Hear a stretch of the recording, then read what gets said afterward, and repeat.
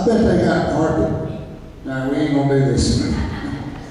I bet they got some real expensive sound equipment. Boy, that leaves this one, this one, and this one out. So I got to thinking, I said, you know what? I, I think I'm just going to share just what Cowboy Church is. I want to share the heart of Cowboy Church with you, our partners this morning.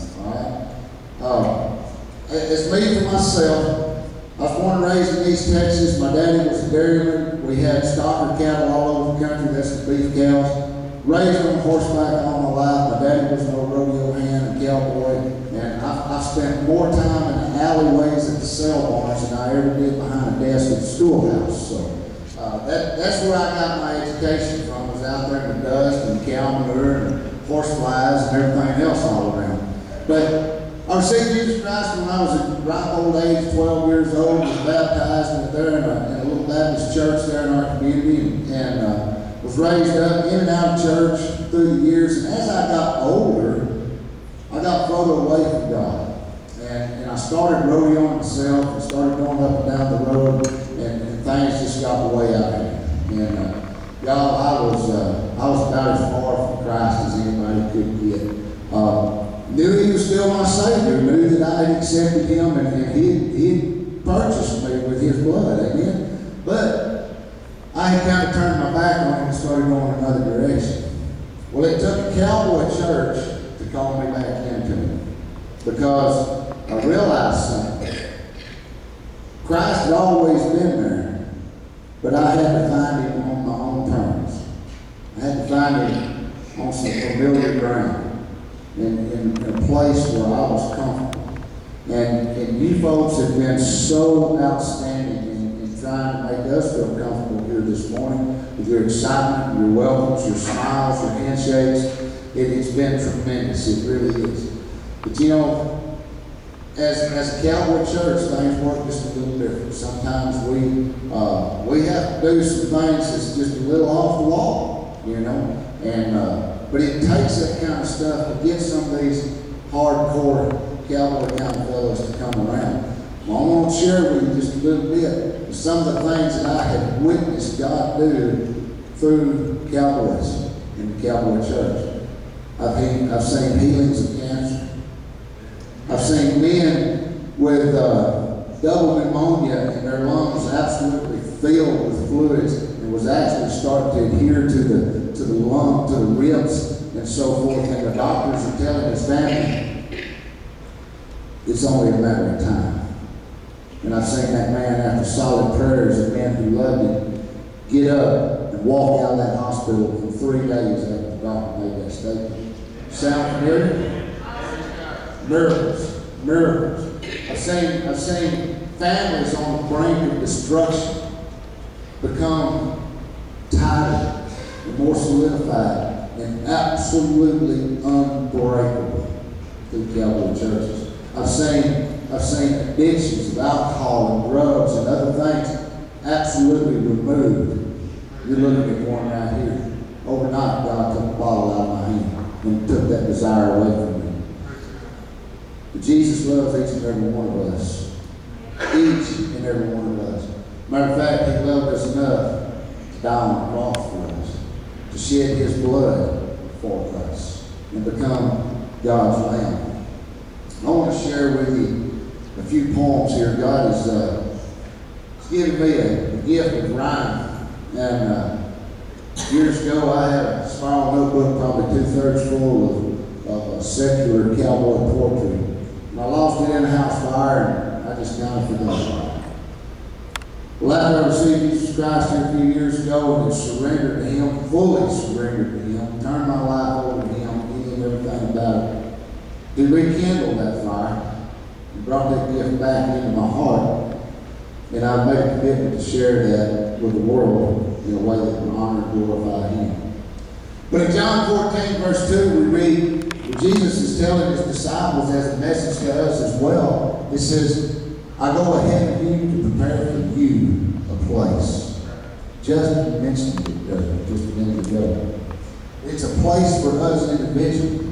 Now, when you walk into a home, I want you to stop and really think about this verse right here for just a second. When you walk into somebody's home and say they've got two teenage children, a boy and a girl, when you walk into the house, you walk into the living room there, the decorations and all in that living room is, is going to reflect, more than likely, it's going to reflect mom's personality, right? It's going to have all the little frillies and the dollies on the table and the candles and all that kind of stuff. Daddy sitting over on the outside. yeah, that's fine. Put the TV over. That's fine. Yeah, that's cool. Just put the table over here so I can set my, my iced tea on where I'm sitting in my big chair. But when you walk back there into those kids' room, when you walk down that hallway and you turn left into the little boys' room, you go in there, man, what do you see? This great big life-size poster of Michael uh, Jordan, and, and uh, then you got the football players over here, you've got all kinds of stuff, model airplanes and all hanging off the ceiling and everything. It reflects this young child's personality. That is his room.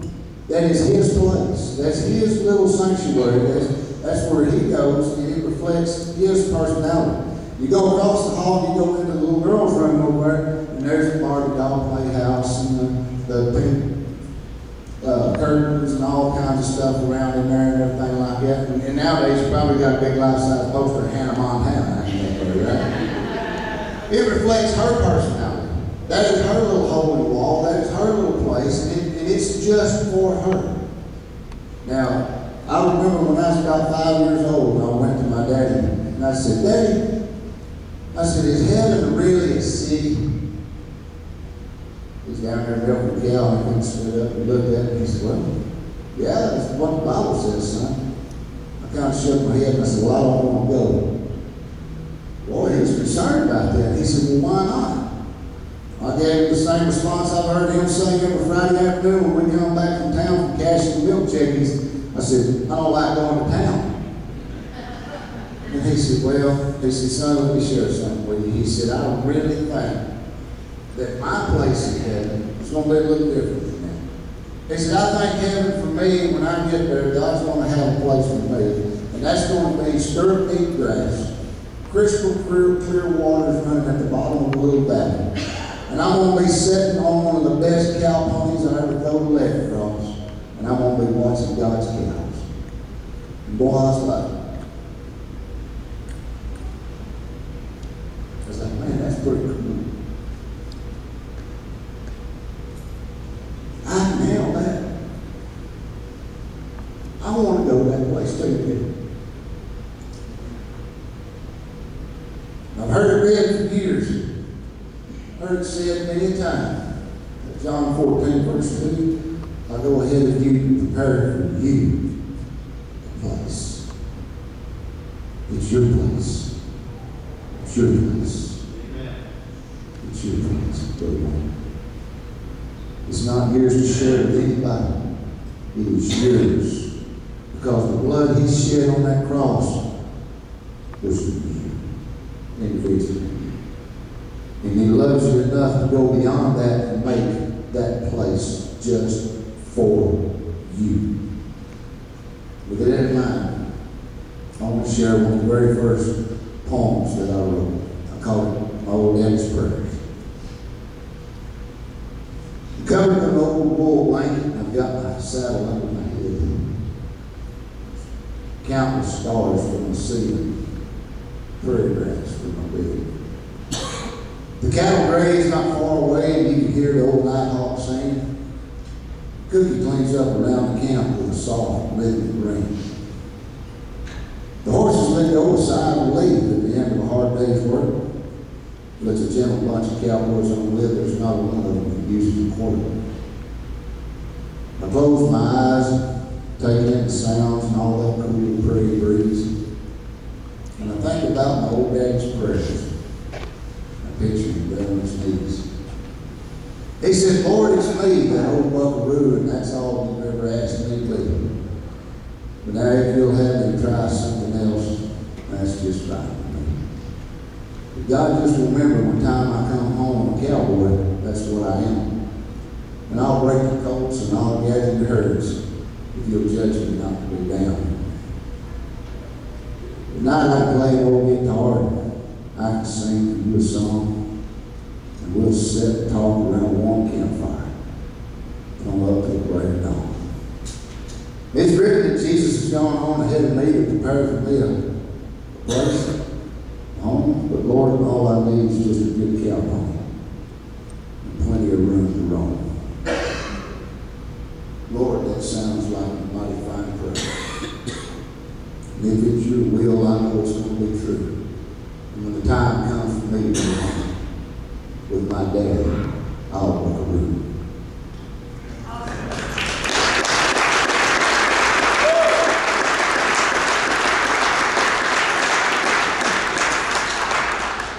You know, one of the most important things about a church is discipleship. If all, if all you're doing is just getting them in the water and then setting them loose again, then you ain't accomplishing much. You've got to come alongside of them folks and make them a partner with you. You've got to come alongside them and ride along with them through the briars and the brush and the twisted trails and, and go through the fences and, and, every, and all their trials and their troubles and everything else. You've got to share with them. You've got to share with them what God's given you. You've got to share with them what He's done in your life and in your heart and to help them along.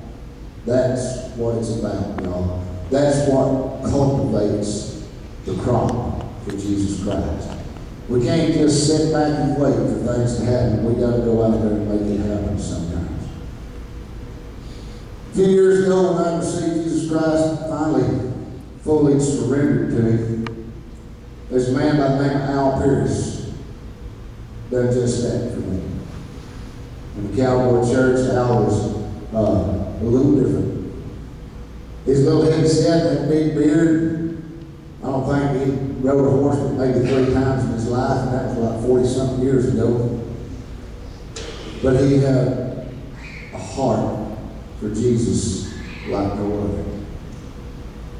He come alongside me, and every week, every two, three days, he'd come out to the house and we'd sit and we'd read scriptures.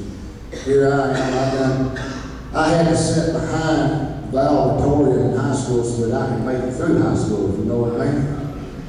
And I sit here and I'm trying to read the King James Version Bible. Well, these and thous and here far thou arts and all this kind of stuff just didn't make no sense to me. And I, but I'm reading, boy, I'm dedicated, I'm gonna read. And, it, and he'd come out and he'd sit there and he'd read with me. And he said, well, what, what's that saying? I said, I ain't got a clue, Al. He said, well, let's see what it says in this one here. In his Bible, I thought was, boy, that was unique things I ever seen in my life. It, it had, it had a, uh, the King James Version on one half of the page and the New Living Translation on the other side. And boy, he'd read that New Living Translation, I'm like, wow! It says all that in mine too. He says, yeah, not necessarily that way, but yeah, that's what it's saying. Man, that's just cool.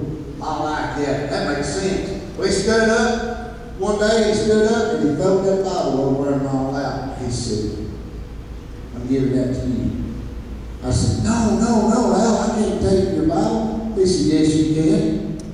They said, it's mine and I can give it to anybody I want to. And he said, this making sense to you? And he said, you need it. He said, look at it this way. I'm just passing on the sword. This Bible he had carried for probably five or six years. Now I'm talking about this man read. Not only did he read, but he wasn't afraid of marking his Bible either. You know what I mean? He studied the Word. And this thing had blues and reds and greens and yellows, just black pens, all through it. And boy, I mean, some of the stuff, some of his little footnotes, his little hand inscriptions in there were just phenomenal. And it inspired me to write this for him. I call it a gift. I've lived my life as a cowboy and I grew up hard and fast. My boots are muddy and scarred and they look a lot like the past. My I've seen from many a bronc, some I rode they quit. Some I just turned out to gate because I didn't want my saddle fit. I've been given a lot of things in life, and for most I've been held liable. But nothing had ever touched my heart like the gift of this old used Bible. Its pages are marked and underlined, showing signs of being read by a scholar. Through it feels like a wind ride when you hear the hoots and the hollers. Its cover is soft and supple, and turns like a well-trained horse. Its message, plain and simple, and it's written just for me, of course.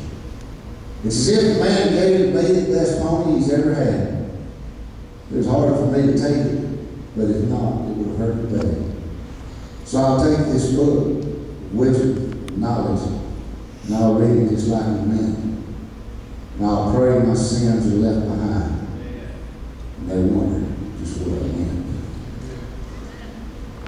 That really came up inside of me while ago when you was reciting the mission statement, Acts 1, verse 8.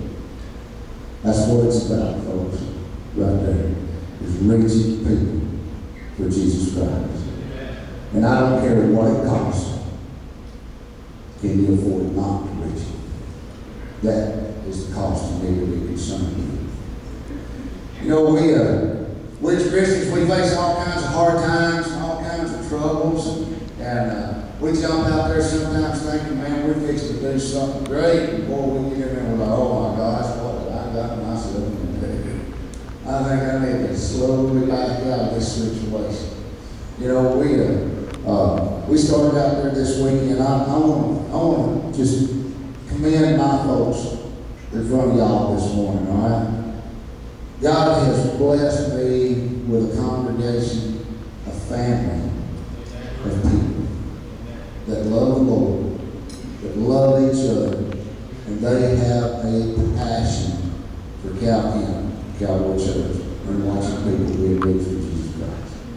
I'm so to have these folks alongside of me. It's unbelievable. And just a little testimony here, I'll let y'all know right quick. We've outgrown our building two months ago. Now that it's starting to cool off, we're to move outside under shade trees because there ain't nowhere else to go. I mean, it's just, it's that, it's that heavy. There's a lot of folks coming. Uh, we had, uh, we're running about 50 in there. We've got 65 chairs and it's wall to wall in that sanctuary. And we're running about 50 folks. And it's, uh, it's just, it's elbow to elbow. It's pretty, it's pretty heavy in there. Uh, but it's nothing, it's nothing that I've done. It's nothing that anybody else has done other than Jesus Christ. You know what I mean? It's all Him. He's the one that's it. He's the one that's making it happen. Uh, so we're we're working. We're, God's moving there. But I want to share one with you here I call floodwaters. Kind of come to a story. Uh, there's a time in my life when I was cowboy and we up against a bunch of stuff one time. And this, this thought, this memory come back to me one day as I sat sitting there thinking about all the trials and troubles we was going through out there with these cattle. Called it flood waters. Let it rain perfect every day for two weeks straight. The lakes were full, so they opened up the gates.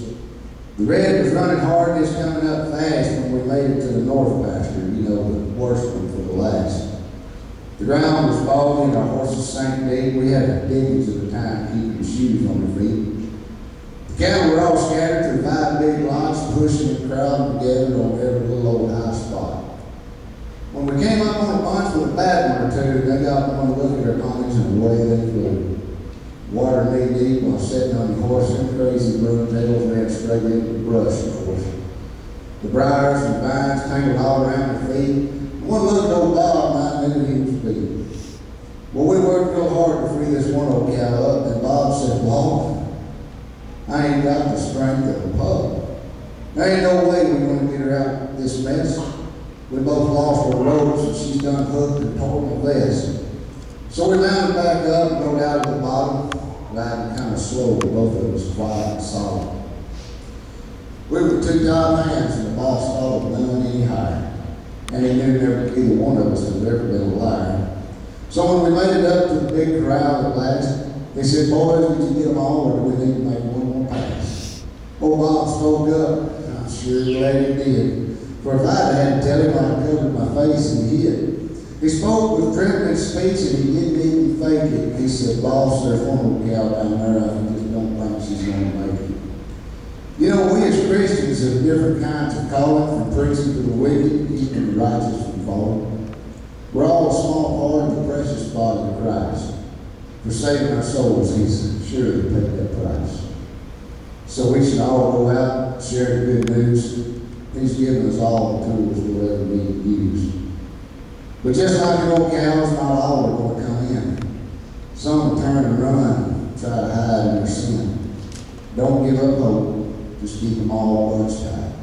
When Jesus is done with his sword, you'll have fought the good fight.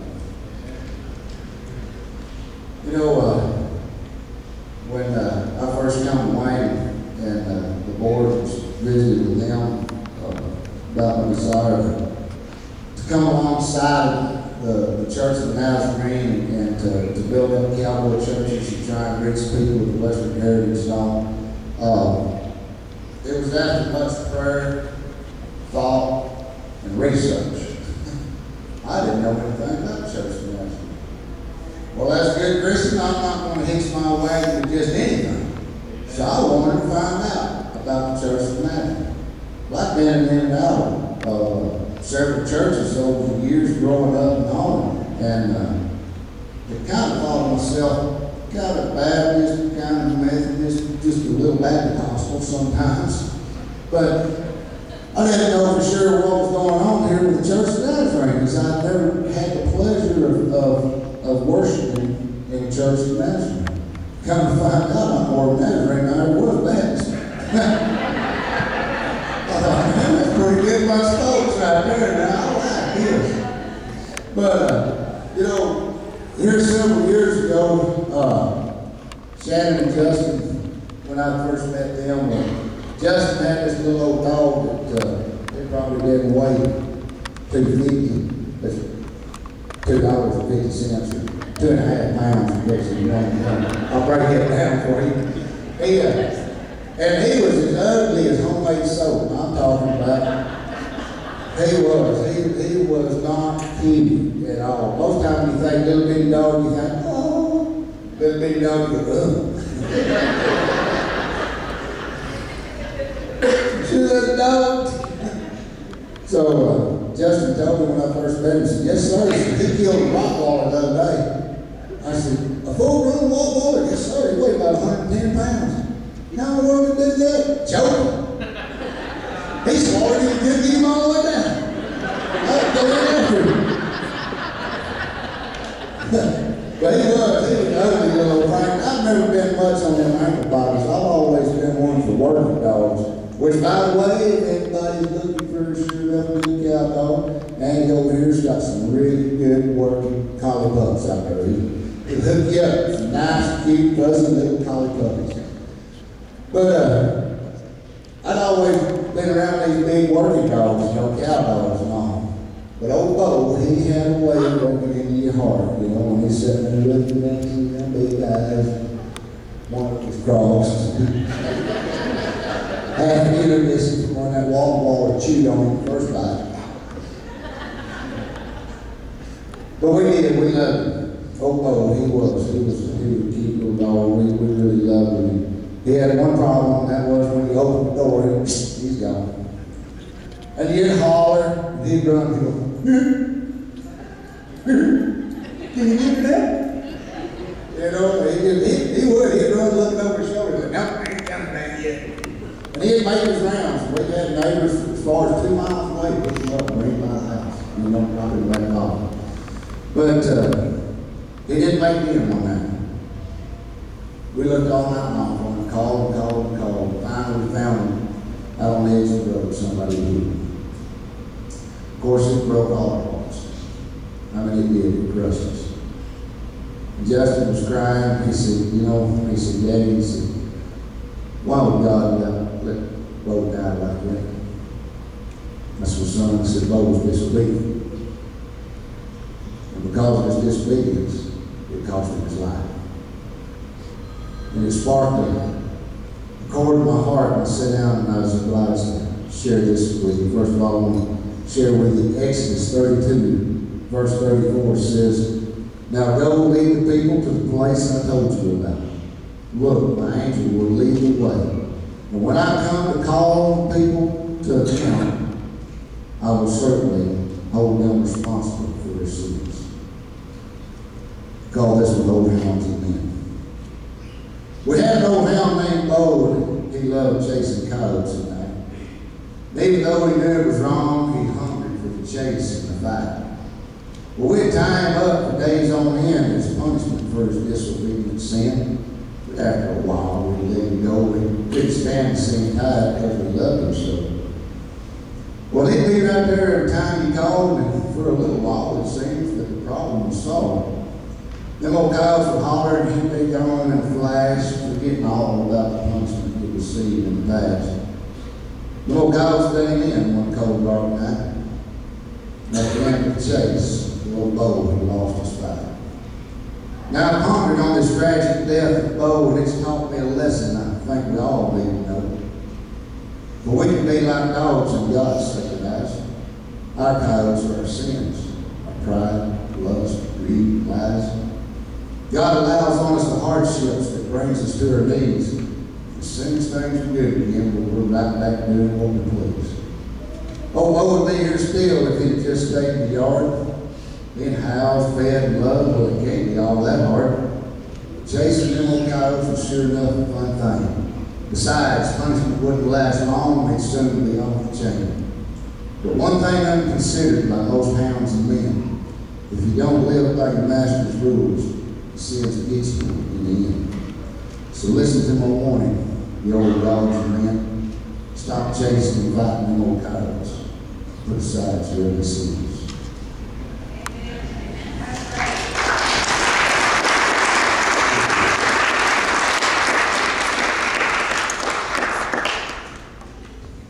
Matthew 5, verse 14, 16 says, You are a light to the world, like a city on a hilltop. Lights a lamp and hides it under a bushel. Instead, they put it on a stand to give light to everyone in the room. Let your good deeds shine out for everyone, so that they may give praise to your Father God. Back years ago, lived in Missouri. Moved up there in Missouri, buddy of mine invited me to come up there and catch a bunch of wild cows.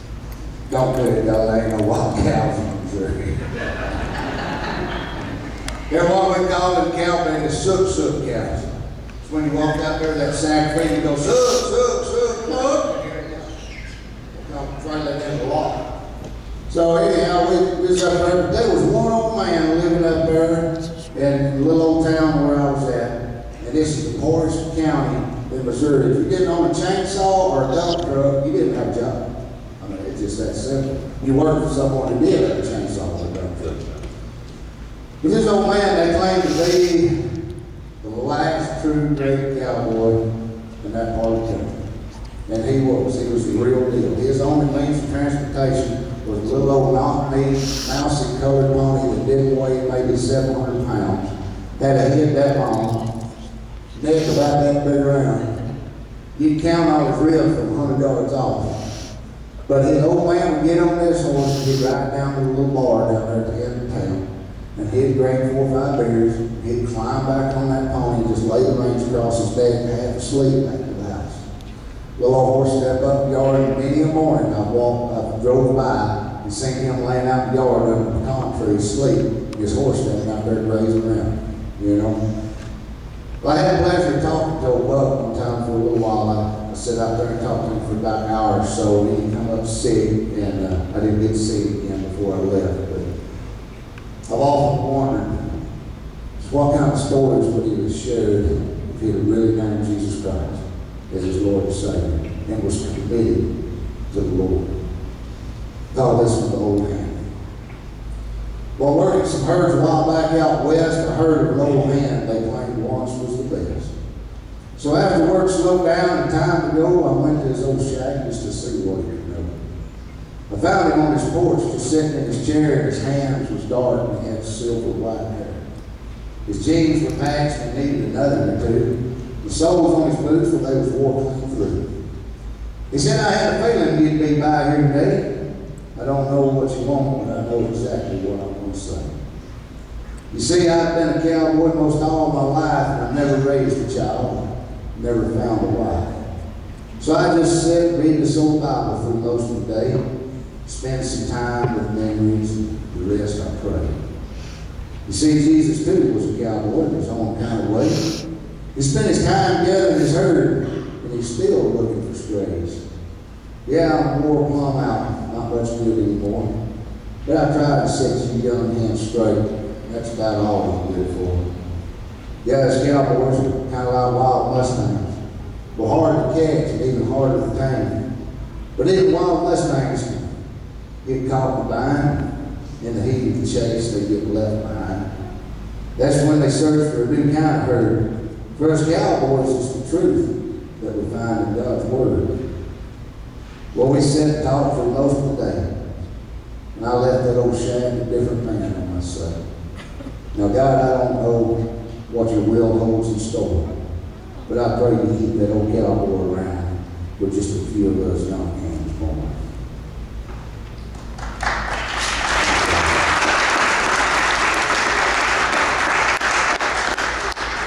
You know, it, it takes it takes bikers to minister to bikers. It takes businessmen to minister to businessmen. It takes cowboys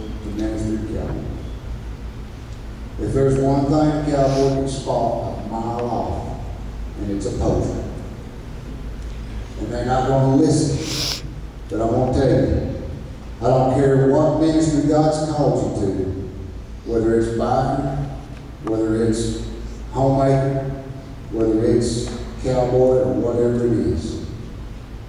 Don't nobody care what you know till they know that you care. If you ain't got the heart for the people, then I don't care how hard you try, what kind of programs you do, it is not going to work. People need to see the love of Jesus Christ in you. And that's where they're going to find Jesus, is in your heart. And then that's what they're going for. I'm invite each and every one of you this morning to make that personal commitment that you are going to let the light of Jesus Christ shine in your life. And I want you to do that with all sincerity, no matter where you are. People should be able to look at you and know that you're a Christian before you ever open your mouth. Just because of the glow, just because of the light, just because of God's hand and His anointing on your life. It's for each and every one of us, y'all. I'm going to close with a poem that I call my farewell. I think we had Justin was going to do a couple more songs for us. That's good. He's, You know, I, I with Justin, you, you heard me pop funny at him right a while ago, but he's all we got. he is, but praise God we got him, you know what I mean?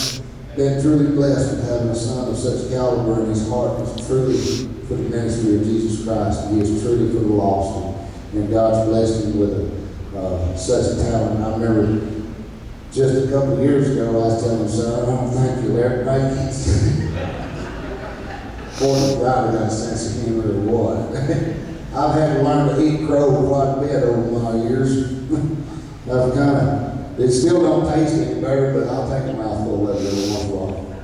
But uh, he, he writes all of his stuff.